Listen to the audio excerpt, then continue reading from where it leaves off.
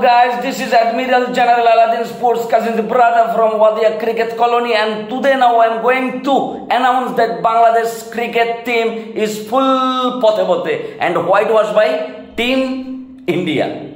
ধন্যবাদ মায়ের দোয়া ক্রিকেট টিম এভাবে বাংলাদেশের ক্রিকেট খেলাকে পাট খেতে নিয়ে যাওয়ার জন্য এবং ধন্যবাদ ইন্ডিয়ান ক্রিকেট টিম যে বাংলাদেশের টিকটক টিম বাহিনীকে এভাবে হোয়াইট ওয়াশ করে দেওয়ার জন্য ওয়ার্নিং দিতেছি, ধান খেতে আসো। আমাদের ধান খেতের প্লেয়াররা দেখাই দিবে যে আমরা কীভাবে ধান খেতে একের পর এক টিমকে হোয়াইট ওয়াশ করে এখনও ক্রিকেটের জগতে টিকিয়ে আছি।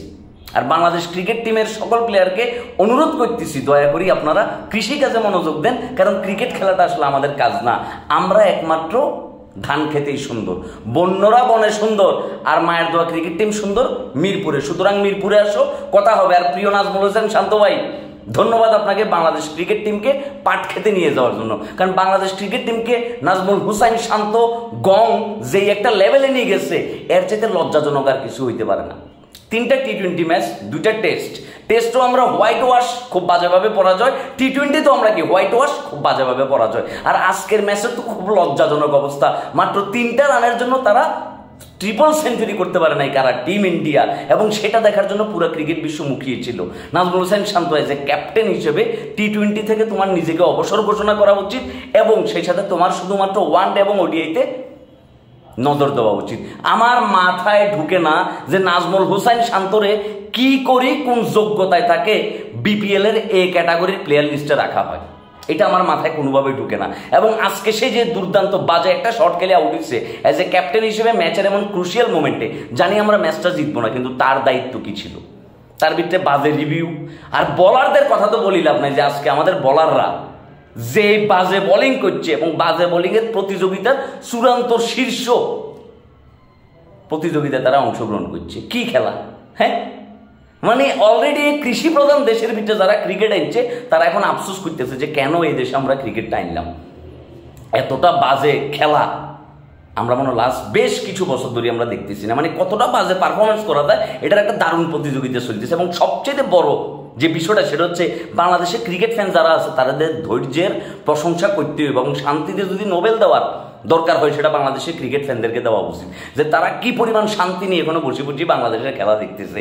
বাংলাদেশের খেলা আমরা যখনই দেখতে বসি, আমাদের হাতে পানির বোতল থাকে, আমাদের হাতে গ্যাসের ট্যাবলেট থাকে, হার্টের ট্যাবলেট থাকে, বাসার নিচে অ্যাম্বুলেন্স থাকে এবং ম্যাচ শেষ হওয়ার সাথে সাথে শাহিন, অ্যাম্বুলেন্সটা খবর দে ট্রিপল লাইনে কথা বলি, তাড়াতাড়ি আমাদেরকে কি হসপিটালে লই যা। বাংলাদেশের প্রত্যেকটা ক্রিকেট প্লেয়ার হচ্ছে জসিম, আর আমরা যারা ক্রিকেট খেলা দেখি, আমরা প্রত্যেকে হচ্ছে আনোয়ার হোসেন আর প্রবীণ মিত্র। কারণ ম্যাচ শেষে রাবে রে লজ্জাজনক ধার হইল রে রাবেয়া এটা বলি আমাদের শেষ করা লাগে।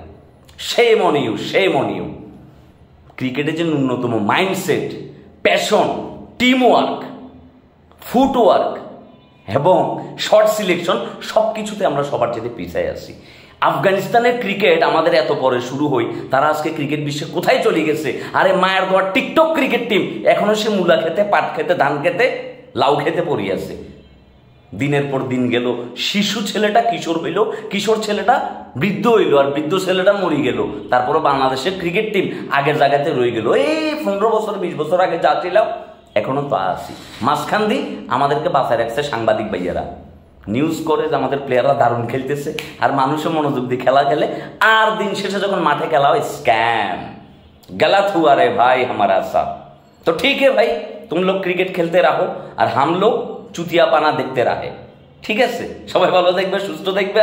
আর এখন সবাই চোখ রাখো হিঙ্গারে পেজে এবং শাহিম আহমদ পেজের লাইভে কারণ হিঙ্গারে ব্যান্ডের বর্ষপূর্তি উপলক্ষে এখন হইতে যাইতে মেগা ড্র এবং আমরা বিজয়ী ঘোষণা করতে যাচ্ছি কে হইতেছে।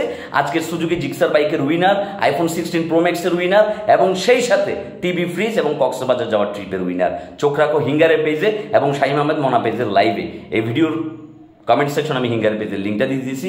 গুতা মারো। আর শান্ত ভাইয়া, আল্লাহর ওয়াস্তে বাংলাদেশের ক্রিকেটটাকে মাফ করিয়ে দাও। তুমি টি টোয়েন্টির খেলোয়াড় না, তুমি অধিনায়ক হওয়ার যোগ্যতা হারাইছো ভাইয়া। Sorry to say as a fan হিসেবে খুব হতাশ হইলাম, হতাশ!